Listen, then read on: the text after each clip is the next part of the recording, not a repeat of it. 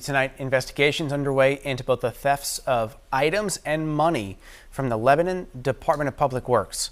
The police department is handling the criminal investigation while the city conducts its own internal probe. No estimated total of losses has been released. The investigation involves multiple city employees. People pay a lot of property taxes in the city, and they expect that those funds are going to be used appropriately and for the purposes that they pay those.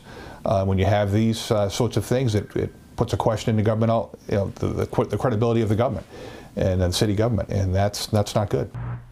Police say more information will be released once their reports have been filed with the Grafton County Attorney's Office.